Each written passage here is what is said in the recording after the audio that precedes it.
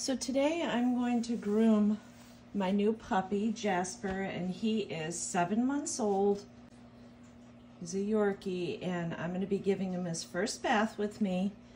I've never groomed him before, and I'm not sure how his grooming behavior was before me, but if I was starting with a puppy, teaching them how to be groomed step by step, I'm going to show you the steps that I would go through.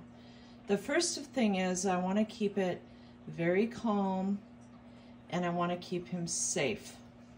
So as you can see, he's very uncertain about what's going on. He's never been in this sink before. He's never had me groom him before, so he's kind of trying to figure out what's going on.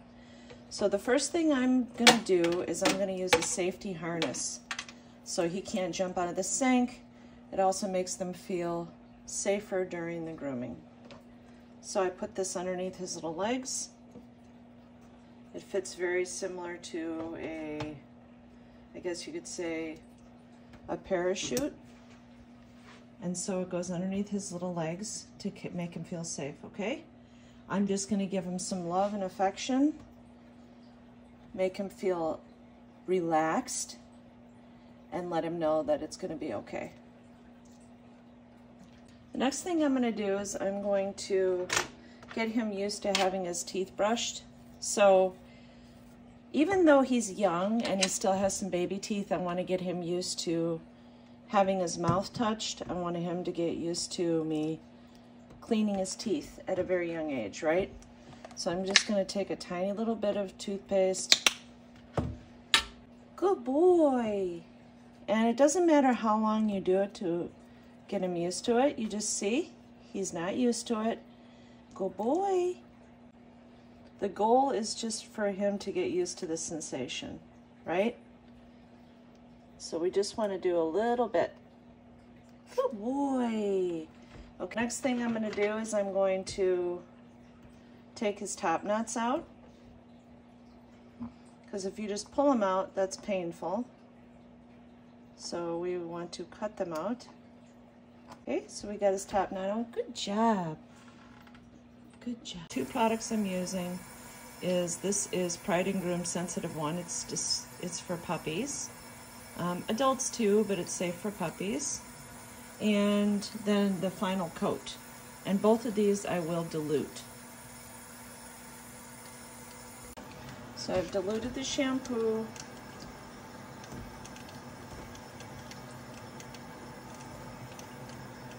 See? Now they might try to crawl out of the sink. It's okay.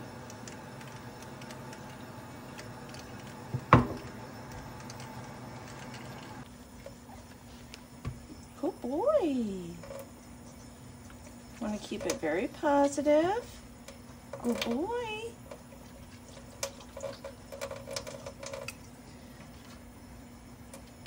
When they're just a puppy, they are scared, and this is safe for their eyes. They're scared of the sounds. They're scared of being restrained. They're scared of everything unless unless the breeder has spent a significant amount of time training them. Most breeders are pretty busy. They don't have a lot of time to train them. So even though they might take really good care of them, they don't have the time that we have when they're our pets. So you have to be understanding that the dog probably doesn't have a ton of training for being groomed and whatnot. It's just a skill for them to be groomed, just like teaching them any kind of tricks or behavioral patterns. It's a skill that they have to learn. And they learn through repetition. So the more you groom them, the easier it gets. I usually groom my dogs once a week, so it doesn't take long for them to start to understand what's expected of them. Good boy. Good boy. Yes. What a good boy. Lots of praise. Good boy. Yeah. Yeah, what a good boy.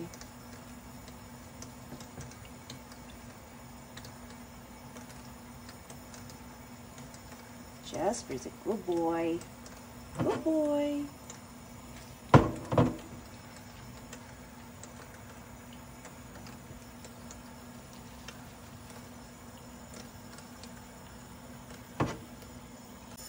What I use is a little flea comb to get the little eye boogers out.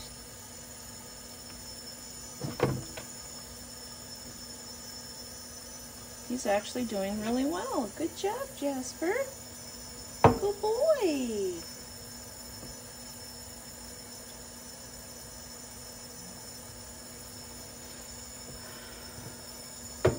If you were going to clean the ears, you can do that in the sink as well. They usually like the attention. So he's getting attention, which makes him feel very safe and happy. And what he doesn't realize is I'm actually training him in the process for this to be a positive experience. So I spend the time just giving him a little bit of love and affection so that it becomes a positive reinforcement thing. Instead of me forcing the dog to do what I want them to do, it becomes a positive thing. It becomes a bonding experience for me and the dog.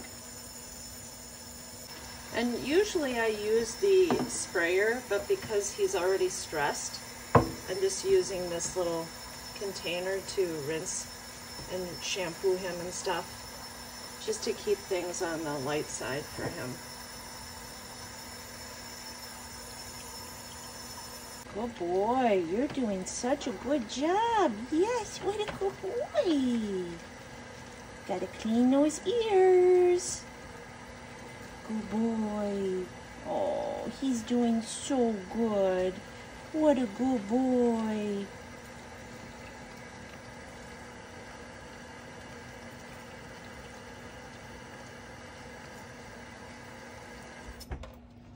Good boy. Yeah.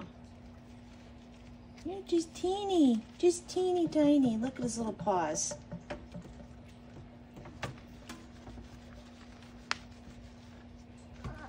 Sure you clean the belly.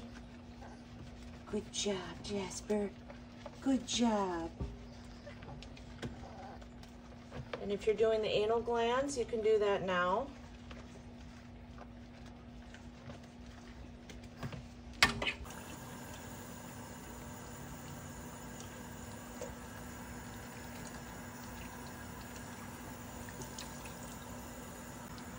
So now I'm rinsing all the shampoo out and you want to make sure you get all the shampoo out.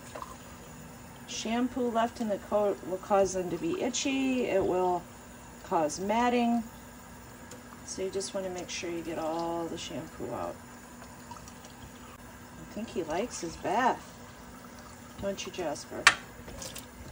If they're wiggling, you can hold your hand right on the leash right here and hold them underneath kind of use your index finger and your thumb to hold their shoulders. Stay.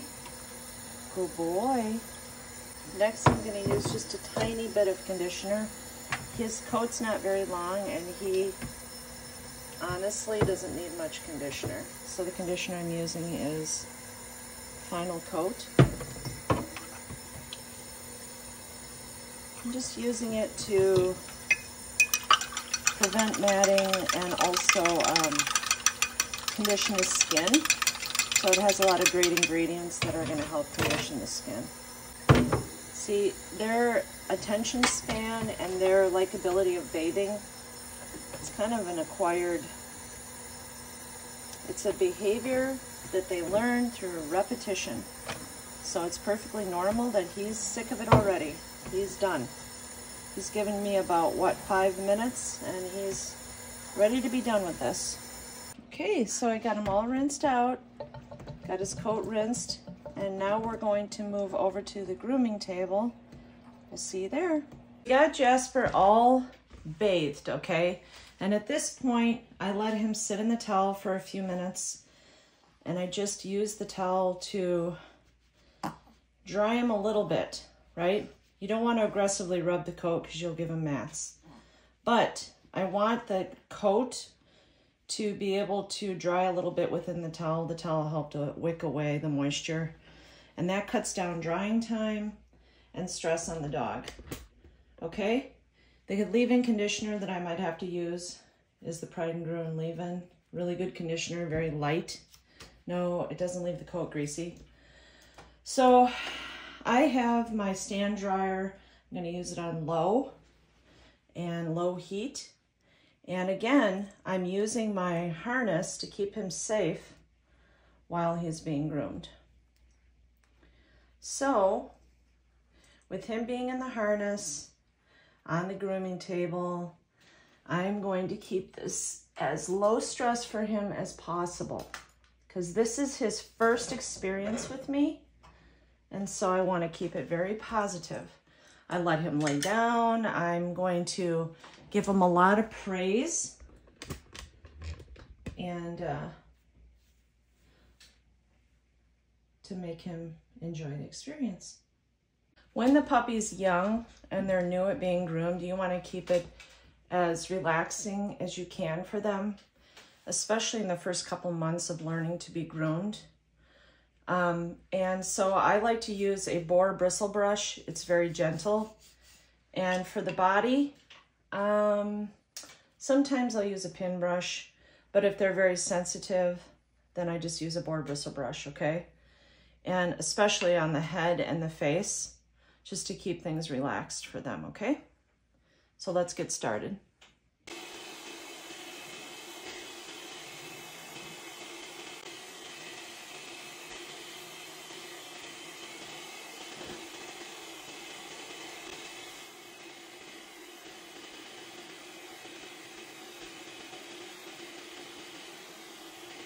So we got Jasper all cleaned up and his first bath and blow dry went beautifully.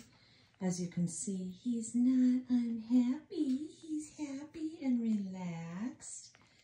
He's literally sleepy. So this is considered a success. His grooming went very, very well. He's not stressed out. He looks beautiful. Are you a good boy? Are you a good boy? Good job, Jasper. Good job.